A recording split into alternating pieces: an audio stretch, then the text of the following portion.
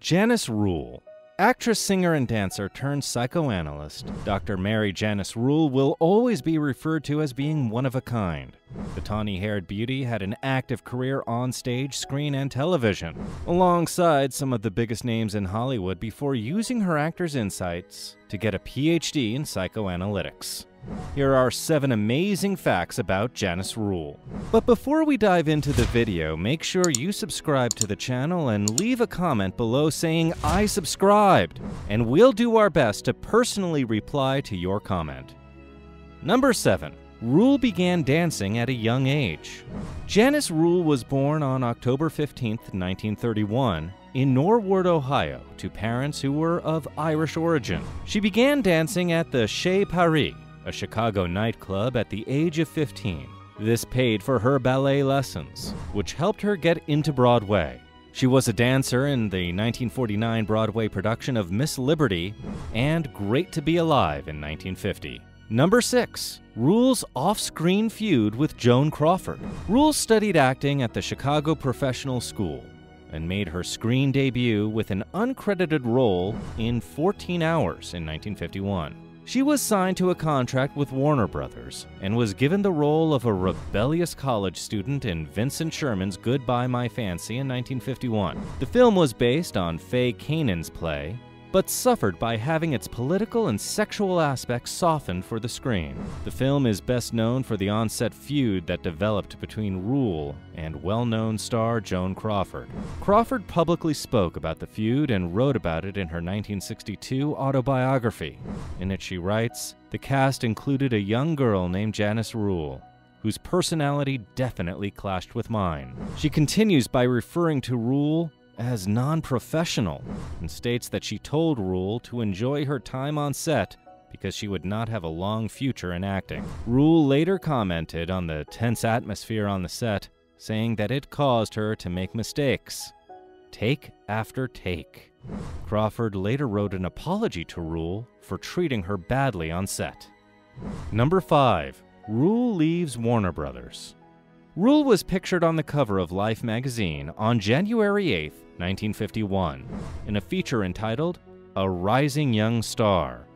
However, Warner Brothers dropped their new actress after only two films. Her second film was in 1951 in Starlift, which was an all star morale booster about Hollywood's work entertaining the Korean War troops. Rule's role was a movie star who falls in love with an airman in the film, her dancing skills are displayed as she has two duets with co star Gene Nelson. Number 4. Rule shines on stage and screen. After starring in two MGM movies, Holiday for Sinners in 1952 and Rogue's March in 1953, Rule returned to the stage where she was part of the original Broadway cast of William Inge's Picnic. Rule played Madge Owens, a restless small town beauty who is played by Kim Novak in the film version. Ralph Meeker plays the drifter with whom she falls in love with, and Paul Newman as her executive boyfriend. Meeker and Rule became good friends and dated for a short while, and it was at his request that she was cast opposite him in the 1956 film A Woman's Devotion, where she plays the wife of a disturbed war veteran. In 1957, she starred in Abner Biberman's Western Gun for a Coward, where she played a heroine torn between two brothers, who were played by Fred MacMurray and Jeffrey Hunter.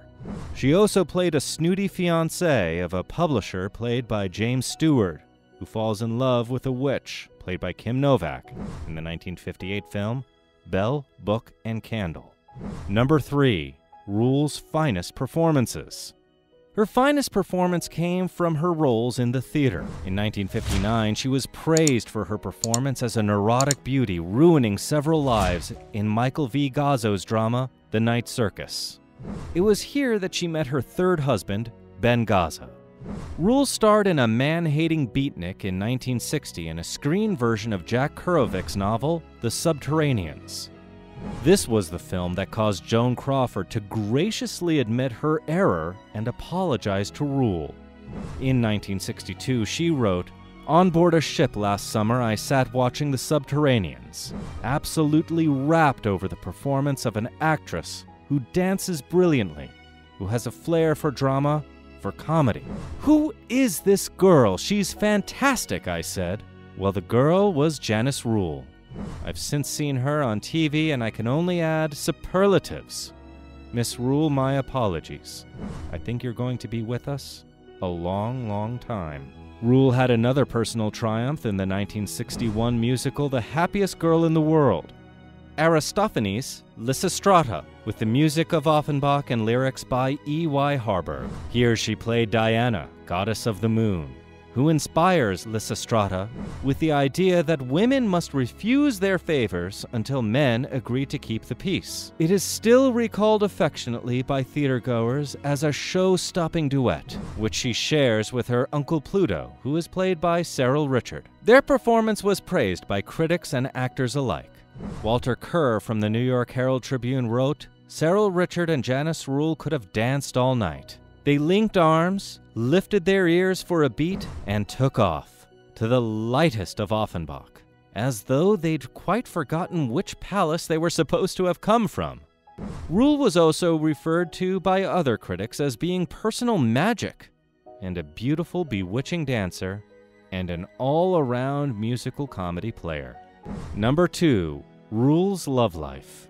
Rule was briefly married in the 1950s to television and film writer N. Richard Nash. She then had a brief engagement to Farley Granger in 1956, which was described as the briefest engagement in show business. They appeared in the Broadway play The Carefree Tree in 1955. Next followed a relationship with Ralph Meeker, who had played Hal in Picnic. Rule's second marriage was to writer Robert Thom in 1956. The two had a daughter, Kate, before divorcing in 1961. Her last marriage was in 1961 to Ben Gazzara. The two had a daughter, Elizabeth, before their divorce in 1982. Number 1. Rule became interested in psychoanalysis. During the 1960s, Rule became interested in psychoanalysis. She began her studies in 1973 and specialized in treating her fellow actors. She received her PhD from Southern California Psychoanalytic Institute in Los Angeles 10 years later. Rule practiced in New York and Los Angeles and continued to act occasionally until her death on October 17, 2003, from a cerebral hemorrhage. The actress, singer, and dancer Janice Rule was a bombshell beauty who had an active career on stage, screen, and television before she put her actor's insights to use and got her PhD in psychoanalysis. She was brains and beauty and won the love and admiration of many people. This is why Janice Rule will forever be referred to as being one of a kind. Have you seen any of Janice Rule's performances in films or on stage? Do you know any other actors who studied psychoanalysis? Let us know in the comment section below. Also, make sure to check out the next video in the series.